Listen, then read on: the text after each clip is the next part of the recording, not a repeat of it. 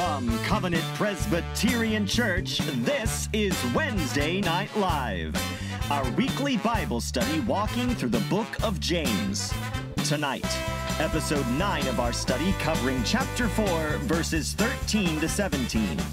Now, live in historic downtown Fort Smith, here's our teacher, Dr. John Clayton. Welcome once again to Wednesday Night Live. I'm thankful that you have tuned in tonight. I'm thankful that we can gather together and study God's Word together. And I'm thankful that we've been able to continue this study through the book of James. Let me pray for us. Our gracious God in heaven, we do thank you for your word, and we thank you for the study through the book of James. We thank you for what you are teaching us. We thank you how you are revealing to us not only our own sinfulness, but also what God desires of us. We thank you that we have seen God's grace extended to us in Christ Jesus, and we pray that you would guide and direct us by your Holy Spirit that we might live out the truth of this faith in our lives. We pray this dependently in Jesus' name. Amen. Well, we've got a short study tonight. Uh, we're only going to look at verses 13 through 17 of chapter 4. This is going to set the stage for where we're going to go next week. So let's look at these verses together. Again, starting in verse 13 of chapter 4. Come now, you who say, Today or tomorrow we will go into such and such a town and spend a year there and trade and make a profit. Yet you do not know what tomorrow will bring. What is your life? For you are a mist that appears for a little time and then vanishes. Instead, you ought to say, If the Lord wills, we will live and do this or that. As it is, you boast in your arrogance. Such boasting is evil. So, whoever knows the right thing to do and fails to do it, for him it is sin. Now, as a general theme, what we see James teaching us is that there is a difference between God's will and our selfish plans. And that's not good, is it? Uh, we should have these two in union, should we not? And so James is going to confront this error in the passage that we're looking at tonight God's will versus our plans. And to start this study, let's look at the first two verses. And what we're going to see right from the beginning is that there is a right way to plan and there is a wrong way to plan. First, James is going to start with the wrong way to plan. Come now, you who say, Today or tomorrow we will go into such and such a town and spend a year there, trade, make a profit, yet you do not know what tomorrow will bring. What is your life? For you are a mist that appears for a little time and then vanishes. And what we see in these two first verses is that the wrong way to plan our lives is with presumption.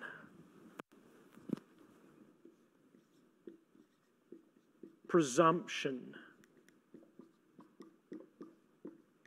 Presumption is the wrong way to plan. What is James confronting?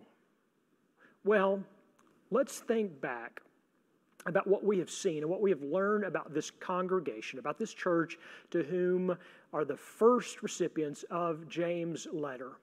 And by now, within our study, we have learned a little bit about them. And so we actually know, you actually know a little more about their presumption than you may realize. Think back to chapter 1. And in chapter 1, verse 11, we see that James is confronting the, or rather cautioning them about the rich man. And that rich man will fade away in the midst of his pursuits. That sounds very similar to what we're looking at in verse 13, isn't it? Making plans apart from God, not thinking of God. The second thing that we see about this church is that they needed to be reminded that their Christian life lived out within the world takes into consideration the underprivileged, takes into consideration those who have the greatest need. It's, it's showing mercy to the widows and the orphans in tangible ways. And then we see that he, James is confronting the Christians of this church in their partiality. They're showing favoritism to the rich, but not to the poor. In fact, they're dishonoring the poor man. The recipients of James' epistle were likely affluent enough to develop a worldly independence and a sense of autonomy.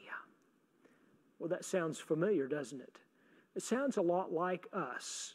It sounds a lot like Christians throughout the ages that there is a temptation to think that we who have been saved by God's grace through faith in Christ, after that, I got it from here, God. Thanks for the ticket to heaven, but I'll take it from here. I've got it. Well, that presumption is sinful. And James is confronting that. James says, Come now, you who say. Now we need to pause there and remember that James' use of language or the sins of the tongue is a more comprehensive understanding than the way we think of it in a modern sense. Uh, the sins of the tongue include the sins of the heart and the mind, what we're thinking, what we're feeling, uh, what, what our motives are, etc. All of this is tied up in what is expressed. And so the presumption is, is that we go and do something. But does that mean that planning is wrong? Is James saying that we should not be people who make plans? Well, no, not at all. What is glaringly obvious in these first two verses is that this is someone, or these are people who make plans without consideration of God. God is not in their plans. Puritan Matthew Henry says this is a fool's errand. He says the frailty shortness, and uncertainty of life ought to check the vanity and presumptuous confidence of all projects for futurity. Anything that we're planning ought to be checked against pleasing God, glorifying God, seeking God's counsel, seeking God's wisdom. These people who plan their lives, as one commentator puts it, their futures without thought or plans of God's sovereignty. They are disregarding God in what they plan to do. Now, again, James is not confronting the issue of planning for the future. In fact, let's pause here for just a second. What does the Bible teach us about planning for the future? Well, we could just camp out in the Proverbs and get plenty to give us guidance here. For example, in Proverbs chapter 21, verse 5, it says, The plans of the diligent lead surely to abundance, but everyone who is hasty comes only to poverty. Or the Proverbs teaches us to consider the ant.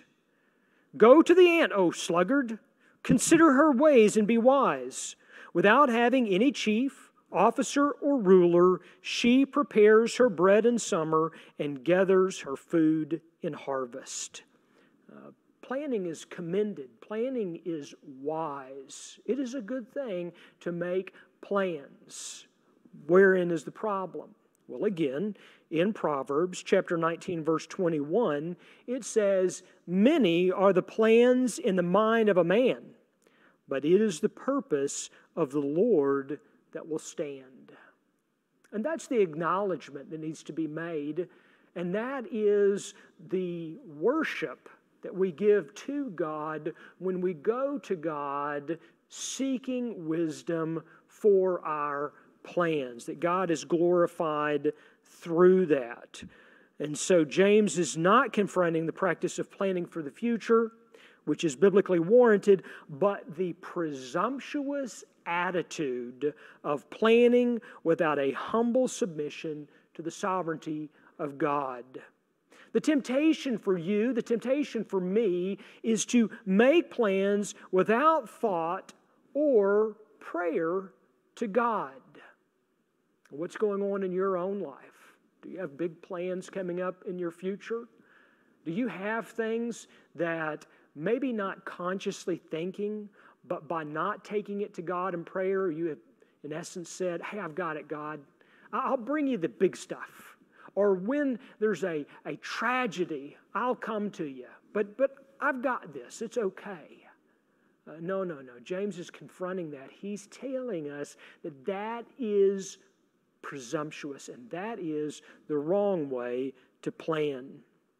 As important as our plans may seem, and the self importance they may encourage, from an eternal perspective, we are but, what's James call us? We're but a mist. Uh, the problem with many of us is, is that we see our lives, we see ourselves, and everything that we're go- dealing with in our lives as the pinnacle of importance. Well, James is bringing this back into check. You're just not that important. I'm just not that important. My plans, they're just not that important compared to God's plans, compared to God's sovereignty. And so this needs to be brought into check, James is teaching us here. One commentator says, restoring health for a time to a man's body amounts to no more than extending his breath for a little while longer. Therefore, it should not be considered of great importance because it is temporal, not eternal.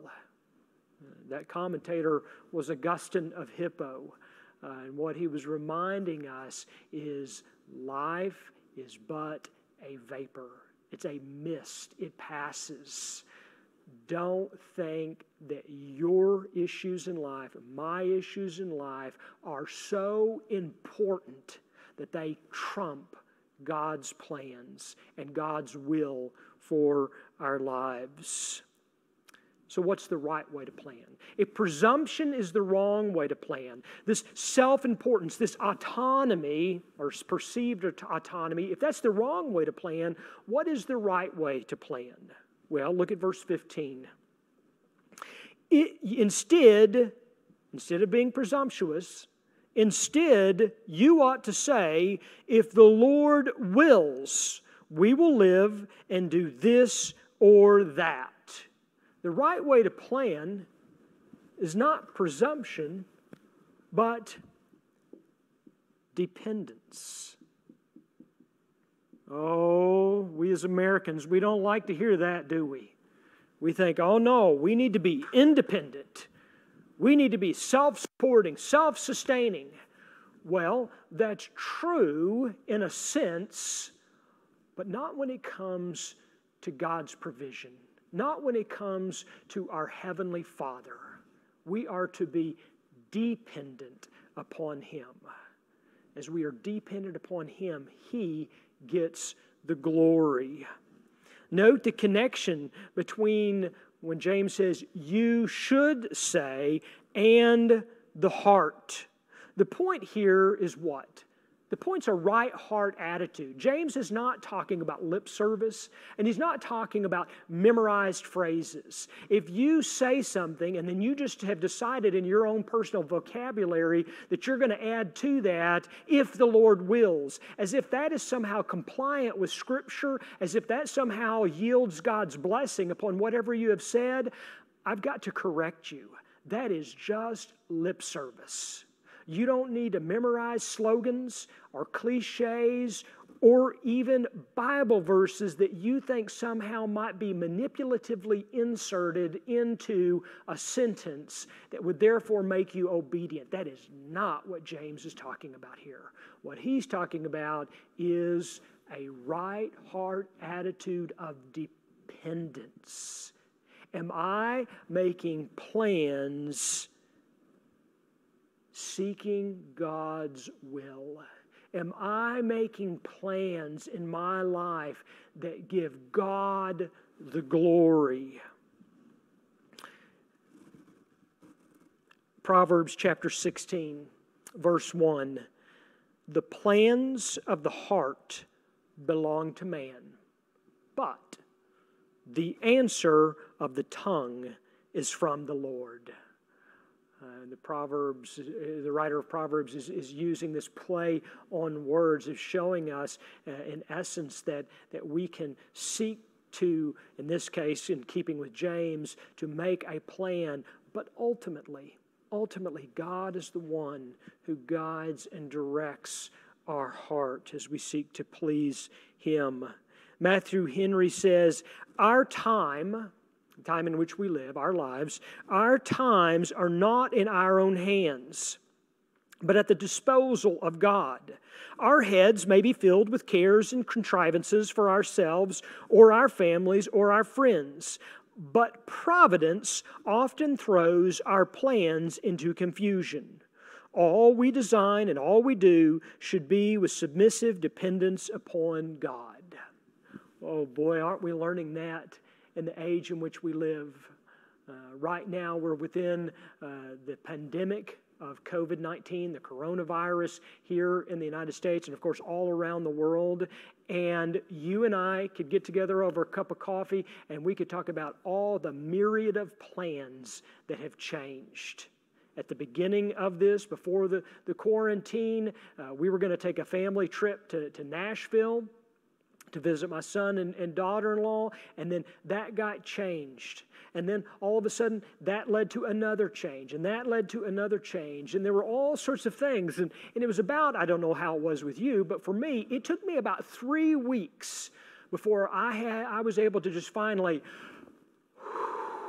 exhale and realize, oh, you preacher of the word, are you listening to the words that you preach?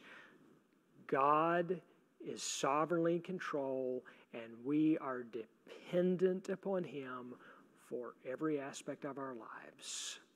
And God, in His sovereign purpose, which incidentally, He's not going to roll out and reveal to you in His secret will, He has chosen to do what He has done for His greater purposes and His glory. And so, relax.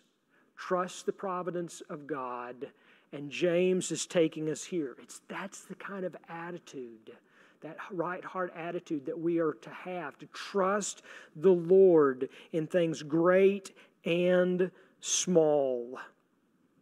Again, as James says it here, if the Lord wills. That expression, which is consistently used throughout the Bible. Again, as I said, it's, it's not a conditional submission to fatalism, but rather it is a conviction. It's not saying, well, you know, our family wasn't able to go to Nashville. We're just victims of whatever comes along. No, no, no, no. That's not what James is teaching us here. And it, by saying, if the Lord wills, is not just throwing in the towel for good and prudent and wise planning. Nope. What it is teaching us is about a conviction a conviction that God is sovereign over all things. Do you believe that? Do I believe that? I know our theology teaches that, but do I believe it and live it out in my life? And how I live my life and how you live your life. Look with me again now. Look back up to verse 14 and now 15. And I want to draw your attention to three verbs that I think are important that really draw out the meaning of this text. James starts in verse 14 you do not know, implying what? Ignorance. Are you God? I know you're not, and I'm not either. So, do you know what the future is? So, I don't either, but God does, and so you do not know. You have the ignorance of a human being, as do I. But then look at the next verb. You are, obviously subject and verb, you are, implying what? Finite existence. You're not God, You're what? Well, you're a human being, and I'm a human being. We are finite creations. We are not God. And then finally, in verse 15, subject and verb, you ought to say. You ought to say subject ad, had verb and verb. Uh, somebody, I'm sure, is correcting my grammar here, uh, but you ought to say, which is implying what? Dependence. And so the ignorance of saying that somehow I'm going to plan my way, James says, well, the providence of God comes along and shows you what? You're not God. I'm not God. Shows us that you're a human being. Well, I'm a human being. Shows us what? That we're dependent upon God Almighty in everything. In all things, we are dependent upon God. All right. So we've looked at the wrong way to plan. And then we've looked, which is presumption. We looked at the right way to plan, which is dependence. And then let's go back to this wrong way of planning. Is it really that bad? I mean, is it, don't we all presume that we understand things that we may not fully understand that God does? Is it really wrong to be presumptuous in our planning? Well, look at verse 16. As it is, you boast in your arrogance. All such boasting is evil. Whoop. Did you catch that? That got inserted at the end, didn't it? All such boasting is just being human. All such boasting is, well, it's just what we do. Well, we're not perfect. I, no, James will not get, let us get away with any of that nonsense. He says it is evil. And so it's not just that it's bad planning. No, it is evil. Evil presumption.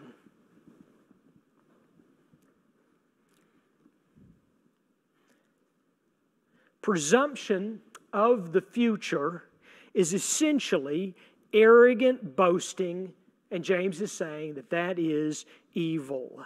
Now, the word boast here, uh, which we think of it in, in the uh, era in which, the modern era in which we live, and especially around either politics or sports or things like that, and, and people make these, these boasts about themselves. Uh, but as it is used here, it means presumptuous bragging. It's not just bragging, it's bragging that we can do what we want to do, that we can be who we want to be. We can insert whatever sort of modern cliche you want to there. The point is is that it is a bragging that presumes on your ability and my ability apart from the sovereignty of God. And so James is calling it like it is here, isn't he? He's saying that is sin. And it's not just that they're making plans without any consideration of God, but they are also arrogantly boasting in what they perceive to be their autonomy. John Calvin says on this though they robbed God of his government, they yet flattered themselves. Yet they yet not that they openly set themselves up as superior to God, though they were especially inflated with confidence in themselves, but that their minds were inebriated with vanity so as to disregard God. I, I, believe that's John Owen's translation of Calvin, if I remember correctly. Um, that little last phrase there uh, really sums it up so well. Uh, Calvin says that their minds were uh, inebriated or they were intoxicated, they were drunk with what? Drunk with vanity, so as to disregard God. They were so, in keeping with Calvin's phrase, they were so drunk on their own self perceived importance that God never even came into their mind. They never once thought about God's sovereign purpose nor his glory. And then finally, we've looked at the wrong way to plan, which is presumption, the right way to plan, which is dependence. Uh, uh, dependence upon God. We've looked at the evil that this presumption is, this bragging, this presumptuous bragging. And then in verse 17, James says, So, whoever knows the right thing to do and fails to do it, for him it is sin. In other words, we are to, or rather, we who know, we who know are to live it out. That's right. You and I, as Christians, we who know the truth of God's Word, we are to live it out in our lives. Does this verse then conclude this passage that we're looking at here? And, and James begins the sentence with the word so uh, or it's translated in the NIV then, or in the NASB therefore. Uh, and and, and he's, he's creating a kind of conclusion, or I would say he is summing up in one statement what he has been teaching us in this passage. James will not allow us to disconnect knowing from thinking and saying and doing. Whoever knows the right thing to do and fails to do it, for him it is sin. Make your plans, but submit yourself to Almighty God in His sovereign purpose. Seek His counsel in prayer, seek His wisdom in His word. Let us make our plans fully and humbly submitted to God. Because those of us who know God, and those of us who know His Word, as we step forward in our self perceived autonomy, that indeed is evil. And so that's our caution for us tonight. Now, we'll use this as the foundation to then move into our next passage, and we'll study that next week. Uh, thanks for being here tonight. Let me pray for us. Our Heavenly Father, we thank you again for your word, and we thank you uh, for your teaching to us tonight. We pray that we would be wise stewards of what you have given us, and that we would not be self presumptuous, that we would not boast in such presumption, but rather we would walk as children who are dependent upon their Father and His provision. Oh God, help us, have mercy upon us, and guide and direct us to walk as is fitting as children of yours and to live for you in all that we do. We pray this in Jesus' name. Amen.